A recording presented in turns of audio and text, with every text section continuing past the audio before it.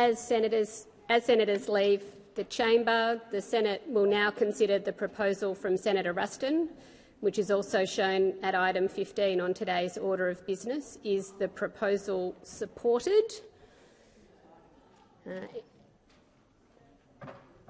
with the thank you. With the concurrence of the Senate, the clerks will set the clock in line with the informal arrangements made by the whips, and I call Senator McKenzie.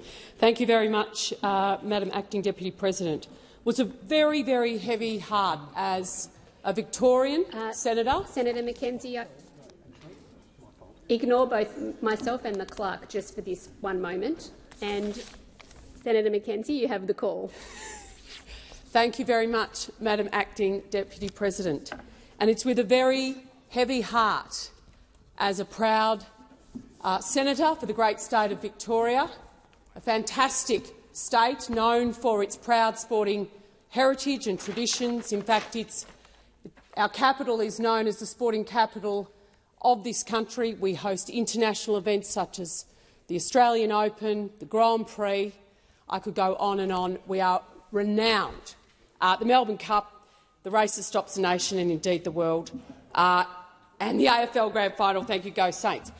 We are very, very good at hosting international events.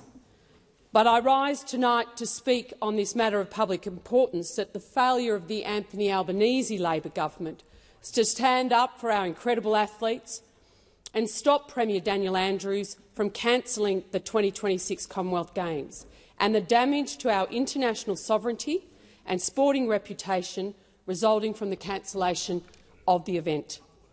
And on the 18th of July this year, our national, not just Victoria's, not just Melbourne's, our national reputation as a sporting uh, and business capital was dealt an enormous blow by the sudden decision uh, of the Labor state premier to cancel the Commonwealth Games. This was an unprecedented decision. Only World War II had stopped the Commonwealth Games uh, prior. This decision by Premier Andrews was one he doesn't regret, was one he didn't even think about if you take his public comments uh, at what he says, didn't give him a moment's concern. But I can tell you the very proud residents and local communities of Geelong, of Bendigo, of Ballarat, of Shepparton and of the Latrobe Valley were very much looking forward to be being on the global stage and showcasing what they could do when it comes to hosting the Commonwealth Games. And the Labor Party will stand up today. You'll hear those playing along at home will stand up tonight and talk about it's the Com Games, who cares? Well, I tell you who cares.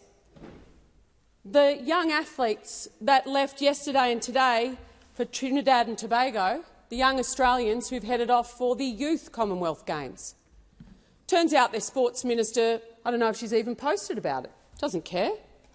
But the Commonwealth Games is part of a pipeline of events that if you are a young athlete in this country, you look forward to participating in and competing against the best in the world, particularly if you're a netballer it's a premier event, and good luck to the Diamonds uh, during the World Cup at the moment, but indeed uh, our track athletes. You heard Senator Wong stand up today during question time. Uh, you know, well, this was a decision for the Premier. Yes, but it has national and international implications. That is why you had the United Kingdom Sports Minister on our local TVs here. These are our allies in more than just the Commonwealth sporting uh, events, in more than just the Ashes we uh, challenged them to uh, over this last month. These are our strategic partners as well. And our sporting alliances bring economic benefits, bring diplomatic benefits. And the fact that a Premier can wake up with no evidence and claim that the costs have blown out not table a document, not have gone through a public process. Uh, indeed, the Commonwealth Games Federation of Australia rejects his figures, and this is a state government who has continually undermined the rollout of this game, which is why this chamber set up a Senate inquiry in April to question what was going wrong with the Victorian Commonwealth Games, and now we know. We know the Premier was just planning a cheap political trick to win a state election last year, and he's been called out uh, by the Commonwealth Games Federation no less. The National Party, uh, Martin Cameron and Gaelle Broad in Bendigo have stood up for their local communities, have championed the hosting of the Games. It's up to Anthony Albanese to bring the premiers together and find Thank an you, Australian Senator solution. McKenzie. Senator Green. Uh, thank you very much, um, Madam Acting Deputy President. I can say um, before I begin, um, thank you for the way you managed the chamber previously under the previous um, debate. It's really disappointing that, conversations that are important to our national um, conversation uh, descend into those types of arguments. And I just want to put it on the record um, that when it comes to the decisions of the Victorian government um, and the debate that we're about to have, it's we're very clear that from our government's point of view that this was a decision of the Victorian government.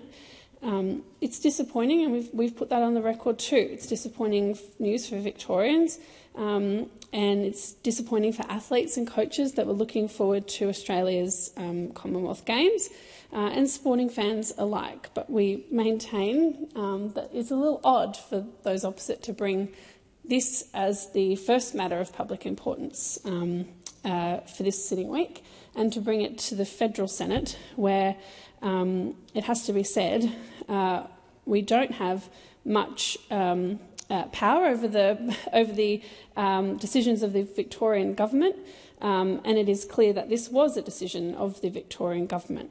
The Victorian government didn't engage with the former Australian government during the bid process, and they didn't engage, um, and they um, nor in the relation to um, its withdrawal. Um, however, we are prepared to work in good faith, um, and the Prime Minister had agreed in principle to the standard major events provisions that fall within Australian government responsibilities. Uh, we were willing to do what was needed and required from an Australian government point of view. Um, but we also know that um, this is a decision um, that was made by the Victorian government, and um, it's uh, it is an odd thing for those opposite to bring it here um, and and in somehow insinuate that our government had anything or to do with the decision itself, or could, as the motion says, stop Premier Daniel Andrews from cancelling the games. I'm not sure what mechanism those opposite uh, would like us to have used, and I'm not sure at what cost um, those opposite uh, referring to um, taxpayers being on the line for, but it is very concerning that those opposite are trying to make this into a political um, uh, debate in the national parliament. We have so many issues that we are dealing with um, across the country. I think it's interesting that the, um, those over on the other side of the chamber are um, suggesting that somehow um, our international reputation has been damaged by the cancelling of this event. And we know that those opposite don't have a great track record when it comes to our international reputation, whether it's Peter Dutton, um, the, the, leader of the opposition, or former Prime Minister um, Scott Morrison, um, overheard joking about Pacific Island nations having water lapping at their door. Um, uh, whether it's the, the debacle with the French submarines, and um, when the former Prime Minister um, lied to the former Prime, the, the Prime Minister uh, of France. Uh, even the former Prime Minister Malcolm Turnbull confirmed that this was his assessment of the um, situation. And no one can really forget that when it comes to Australia's international standing, nobody did more damage than those opposite uh, when it came to their uh, 22 failed policies on climate change. So we're not going to sit here and take lectures from those opposite about our international rep reputation, which it has to be said has finally been restored under the Albanese government. But it's also finally, if I can say, the height of hypocrisy to be lectured about community sporting infrastructure and how um, important it is to communities by literally by the minister responsible for sports rorts and by the previous government responsible for sports rorts, unapologetic about sports rorts, a program that systematically undermined the ability of governments to actually fund sporting infrastructure and diverted funds away from deserving community organisations. Senator McKenzie referred to cheap political tricks used to win elections. Well, that's exactly what the former minister um, used sports rorts for. So we welcome any debate about the funding of community infrastructure because nobody has forgotten those colour-coded spreadsheets. No one has forgotten sports rorts. And when it comes to what the Albanese government is doing, we're supporting our athletes, we're making sure that we are funding the Olympic Games and we are getting Thank on with you, the job. Senator Green. Senator Cox. Thank you, Acting Deputy President. I rise to speak in support of the cancellation of the 2026 Commonwealth Games. In fact, I'm pleased that Premier Dan Andrews had the foresight to cancel the Games and invest the money in the community where it's actually needed. And I wish other premiers had the guts to do the same thing for other sporting events such as the uh, Brisbane Olympics. In fact, uh, that spending billions of dollars on a 12-day sporting event is not tenable when you've got people sleeping on the street or people who have to choose between heating their homes and eating. This money is much better spent on health, housing, education and providing infrastructure, in fact fixing roads or investing in our regions. And I could go on with other areas where this money could be better spent. Um, hosting the Commonwealth Games or the Olympics does not bring all the benefits that people uh, claim, and the boost to tourism is not to scale um, that's needed to justify the spend. These events notor notoriously run over budget, and in many cases the locals actually don't want them there. The most extreme example of this is the Summer Olympics in Montreal in 1976. Montreal actually finished paying off the debt that they incur incurred by putting on this event in 2006. That's 40 years uh, that it took them to pay off the debt for Montreal to put on the Olympics. 40 years of money being taken away from critical government infrastructure and services. And while um, this is obviously an example of things going very wrong, this event marked a new era for big sporting events such as the Commonwealth Games, Olympic bids or the, in fact, FIFA World Cup. Um, bids that uh, to host these sporting events became bigger and bigger. Um, more money needed to be spent, more infrastructure was actually promised around these. This is a gamble that ram, uh, rarely pays off. And in 2010, India budgeted 250 million for the Commonwealth Games, and that actually ended up costing them $11 billion. So I think it was a very wise move of the Victorian government to quit while they were ahead and spend this money where it was actually needed the most. Events like this are important and it is an opportunity for unity for Australia to cheer on their favourite athletes. However, the suggestion that this cancellation damages our international sovereignty is actually a bit of a joke. And I'm not going to stand here and be lectured by uh, those opposite and others about uh, international sovereignty and the damage to that. Uh, we are in a cost of living crisis and I'm also pleased that no other state or territory government has chosen to put um, education, housing or health funding at risk or on the back burner for the Commonwealth Games. Thank you, Senator Cox. Senator Canavan. Uh, thank you, Madam Acting Deputy President. Uh, well, uh, uh it is a great shame and disappointment to the regional communities of Victoria that uh, the Commonwealth Games uh, will not be going ahead in their towns. And it would have been a great source of pride for Geelong, for Bendigo, for Ballarat, for the Gippsland area and other regions across Victoria to host such an event, the first time it will be hosted by country towns of, of that size. Um, the issue, though, before us uh, as, a, as, the federal parliament is that in terms of the rest of the world, uh, it was not really Bendigo or Ballarat or, or Geelong hosting the Commonwealth Games. the rest of the world probably had not heard of our detailed plans for the Commonwealth Games. The rest of the world thought Australia was hosting the Commonwealth Games in, in 2026. Uh, and, and uh, for the first time I've ever witnessed uh, a major event like a Commonwealth Games or Olympics or a World Soccer World Cup, for the first time I know of, uh, a country has reneged on its promise to host uh, such a, a, major sporting event. It is such a shame uh, and so disappointing for that to happen in this country uh, given that until that decision, until this shocking decision from the Victorian Premier, we were known around the world for our capacity and ability to, uh, to, to, hold these types of events at great efficiency, great success, great harmony uh, with the rest of the world. And I particularly dispute the other contributions, some of the contributions being made here, that somehow it's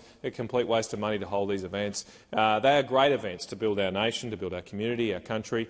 Uh, I still fondly remember the Sydney Olympics in my formative years. It was a fantastic event for our nation uh, and something I think most Australians are very, very proud that we successfully hosted here in this country. I hope we are similarly proud of the Brisbane uh, Olympics in 2032. But this, this decision now has, has unfortunately sullied our reputation uh, for to hosting these events. It was the, the Victorian Premier who promised these games.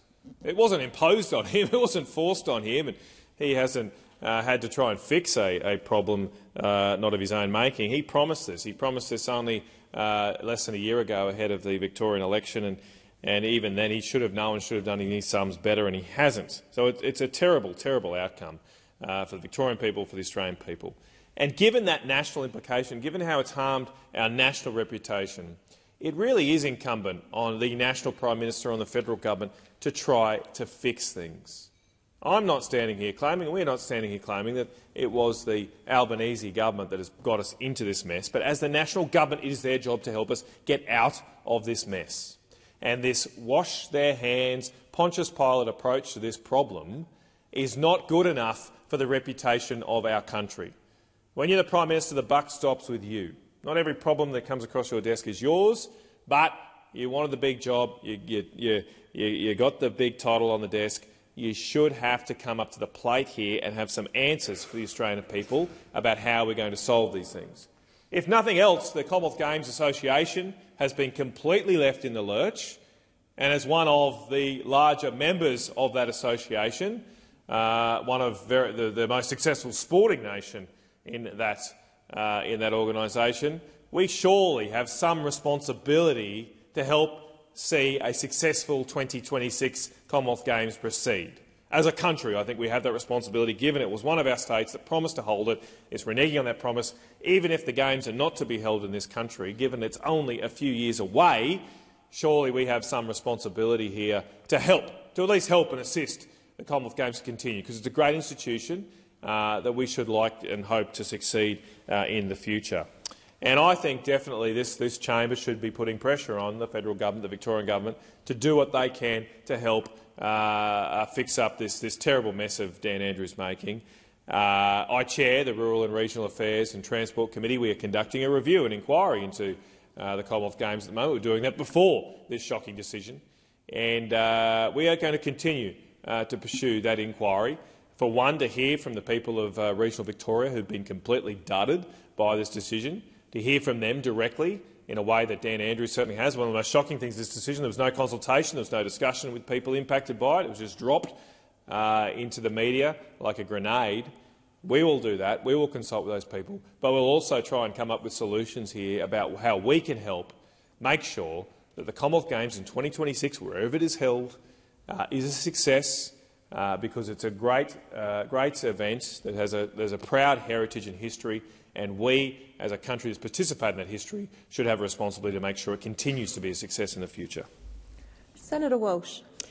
Uh, thank you very much, Acting De uh, Deputy President. Uh, well, can I start by saying that I can, of course, completely understand the disappointment of athletes and coaches about the Commonwealth Games. Uh, and this is a decision that the Victorian government made after considering all the facts on the table uh, and we do understand their decision. Uh, and I can also tell you that sport will survive and indeed thrive in Victoria uh, and in this country um, going forward. Um, because this government, uh, we are committed to our athletes, to our coaches and to training staff. Um, our commitment to sport is without equal. We will continue to ensure that our athletes have every opportunity to compete at home and abroad. Uh, and indeed, there are no less than 22 major sporting events coming down the green and gold highway right now, um, all leading to the 2032 Brisbane Olympics and Paralympics. Um, whether it's the Rugby World Cup, the Netball World Cup, the Men's T20 or even the BMX World Championships. We are lucky to be hosting four Women's World Cups across the next five years. So I think it's safe to say that our international sporting reputation uh, is well and truly safe and is well and truly intact. We are helping Australians excel on the sporting field at every level and in every postcode, from the playground to the podium. Only last week we announced an, an additional $20 million uh, in funding for the Paris 2024 Olympic and Paralympic Preparation Fund. This investment in our athletes will help Australians qualify and assist with transport costs for the Games. This is a funding injection that will help teams like our wheelchair rugby team who needed support to reach the World Cup in October. We know that sport is bigger than any one event, and ultimately our sporting events need to be good investments that provide value for money and provide lasting benefits to the community. Uh, and can I take the opportunity to commend the Victorian Government for their focus on continuing to deliver lasting investments in housing and infrastructure for regional communities. This is a focus and commitment that the federal government shares. Uh, and the hypocrisy of those opposite really can't go without mention today. Um, they've come into this chamber, uh, they demand to see more action on the cost of living crisis today, uh, and now they ask that billions of taxpayer dollars be spent on the Commonwealth Games. They insist repeatedly that sports and politics should not mix, and then they wish to play politics with what is a state government decision here in the chamber today. Well, rather than playing politics, we are currently focused on hosting the largest women's sporting event in the world, the FIFA Women's World Cup uh, and we are hosting it very successfully, can I add. The Matildas opening match reached almost 5 million people. We committed more than 84 million to support the bidding, the delivery and legacy of the Women's World Cup here in Australia. It's broken records already in crowd attendance, number of countries competing and spectators watching at home and around the world. It's raised the profile of women's sport to an unprecedented level not just here in Australia but also internationally. It's the kind of event that we know will have impacts um, for generations to come in the girls and boys who are inspired to put on the green and gold. Uh, so, can I finish by saying, um, go Matildas tonight? Um, we had a sellout crowd for the friendly uh, in Melbourne um, against France uh, in Victoria, uh, and another sellout tonight. So, uh, news of the demise of Victorian and Australian sport is greatly exaggerated by those opposite.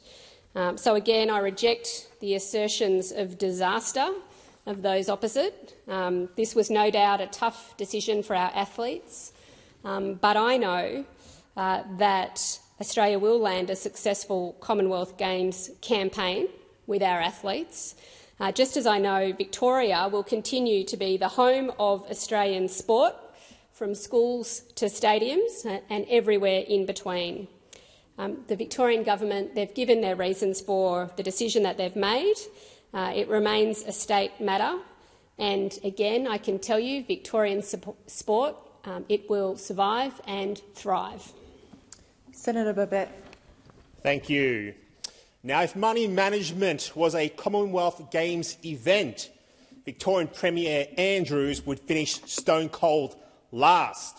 Now, the Premier, he deserves no credit for cancelling the Games. He should never have bid for the Games in the first place.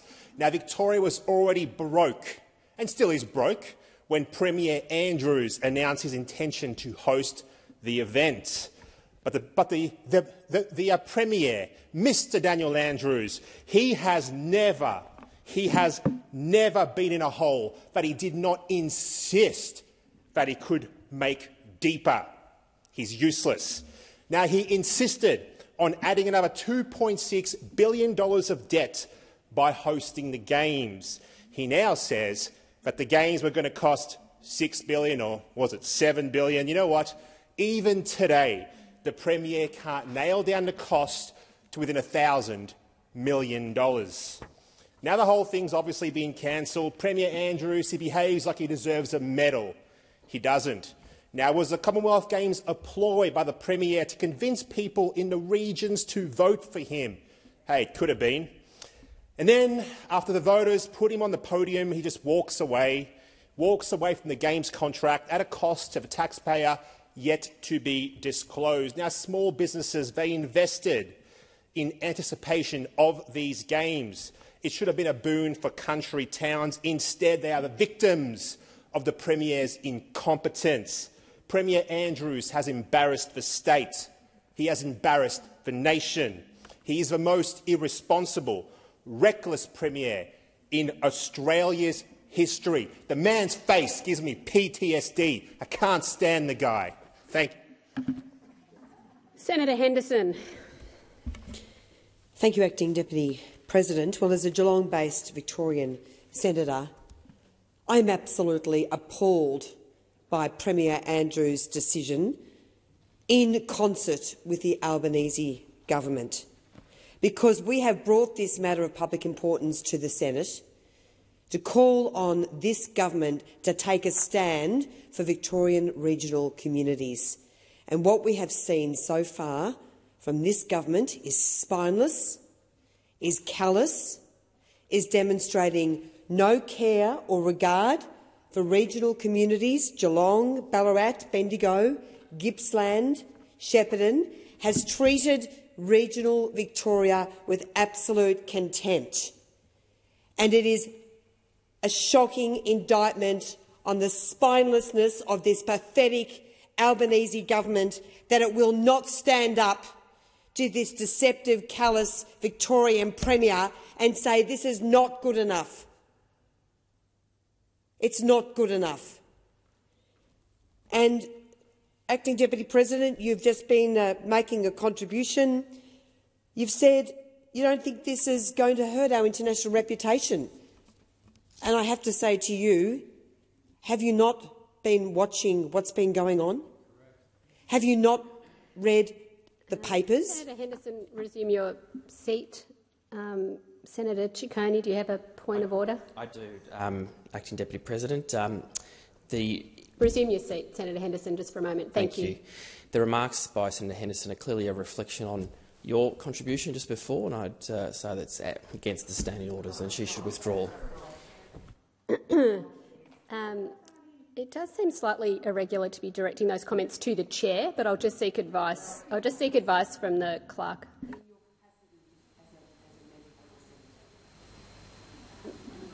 Uh, just order in the chamber while I um, get advice from the clerk. Thank you.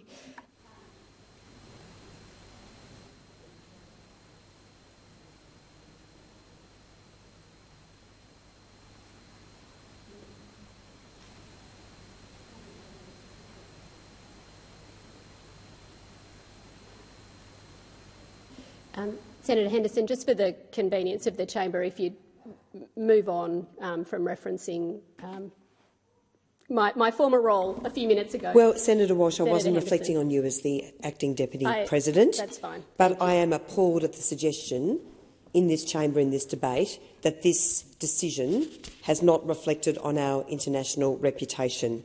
We are an international laughingstock as a result of the decision of the Victorian Premier, and this Albanese government did nothing. The member for Corio, the member for Corangamite, the member for Bendigo, the member for Ballarat did absolutely nothing to stand up for their communities as our reputations were trashed across the world. For the people of regional Victoria, the Games was a critical opportunity of a lifetime not just to see their local heroes compete, but to grow their businesses, to take advantage of the significant economic boost. In Geelong, Ballarat, Bendigo, Gippsland and Shepparton, and those plans, those hopes, those dreams have been trashed.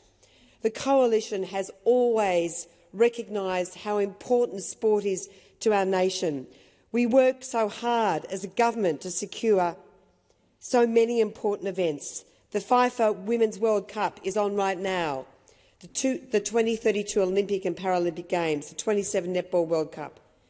Daniel Andrews' decision to abandon the 2026 Commonwealth Games is an insult to Australian athletes, an insult to regional Victoria and an insult to the Australian people. Working hand in glove with Premier Andrews, Prime Minister Albanese and this city-centric government have broken our hearts. Premier Andrews is walking all over the top of members opposite and this government. He is laughing. He could not care less. And this spineless government just stands by and fails to stand up for regional Victoria, fails to stand up for our country. This is appalling. We saw it again in action just a few days ago. The Victorian government, this tyrannical government, as it's turning out to be, bans gas from 2024 for new builds. And what do senators and members in the other place do? Members of the government? They do nothing. I cannot believe that gas is going to be banned for new connections. And this spineless government does nothing to stand up Victoria. We don't believe a word Premier Andrews said. Look what he did with the East-West Link. He cancelled that contract. That cost Victorians more than a billion dollars. We will get to the bottom of this through our, through our Senate inquiry. We will get to the bottom of this deceptive, callous, devious state Labor government aided and abetted by this unprincipled and spineless Albanese government. We have had enough of being trodden on. We have had enough. We are not going to tolerate it. And shame on the member for Corio, the Deputy Prime Minister, the member for Corangamite, Bendigo and Ballarat, who did Thank nothing you, to Senator stand up Henderson. for us.